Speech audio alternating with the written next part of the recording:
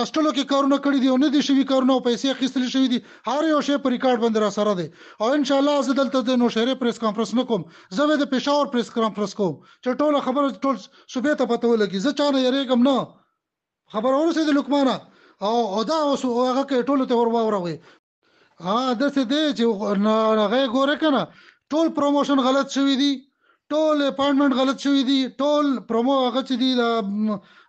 پروموشن او اپاینټمنټ ټول غلط شوی دی زه غوي ورکوم دو نمبر سینونه شوی دی او هر یو شی شوی دی اوس مې چې په خره خره زه اسما سره ثبوتونه دي چا درې درې ځلې چې بل باندې چکونه اخیستي دي چا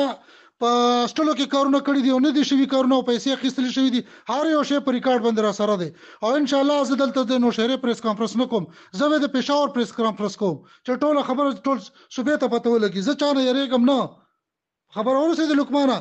او دا اوس هغه کې ټولو ته ور واوروي بلکې ټوله دنیا دی واوروي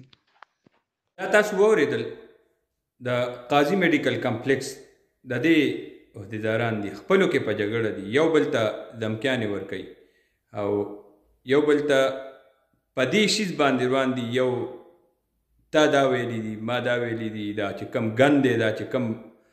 لاوا دا بار ته راوتې ده دا کم انفارمیشن په ادارو کې ګرځي په انټي کرپشن کې دي په ایف ای ای سره دي نور چې کوم زموږ تحقیقاتي اداري دي هغې کې دا فایلونه پرته دي نیب کې پراته دي نو په هغې باندې جي خبره دې ته راغه چې یو بل ته دمکیانې یو بل ته خبرې نو دا د هسپتال یو خبه اختیاره ملازم او هغه ورته وایي د دلته کې پاتې شو نو وایي شوي دي دلته په یو یو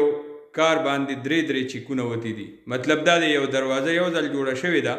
نو په هغه دروازه باندې لس ځل چیکونه وتي دي یو بل څه شی ټیک شوی دی الټراساوند ماشین ټیک دی لا څه کمپیوټر ټیک شوی دی لا رو چته فرش ټیک شوی دی پکې ټیک شوی دی نو په هغه پکې باندې ټول کال که درې ځل چک وته دی او که څلور ځل چک وته دی نو دا کلوار دی نو خار سره شوی دی او د دې نو خار مشرانو سره او ډېره د افسوس خبره ده او دې باندې دا خلق دای به یو بل باندې گواهان جوړیږي دا چې کله د حشر په دې میدان کې ودریږي او دا